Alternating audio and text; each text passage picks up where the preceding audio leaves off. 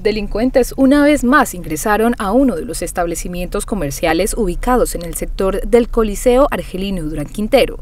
Estos dañaron parte del techo para cometer el delito. En el hecho hurtaron el dinero que se encontraba en la caja registradora y diversos elementos de importancia para los propietarios del local comercial. En diversas oportunidades los ladrones han hecho de las suyas en este importante sector comercial, pero a pesar de las denuncias no se ha logrado poner fin a la acción delincuencial. Esta siempre queda en el limbo, así lo aseguran las víctimas de los delincuentes.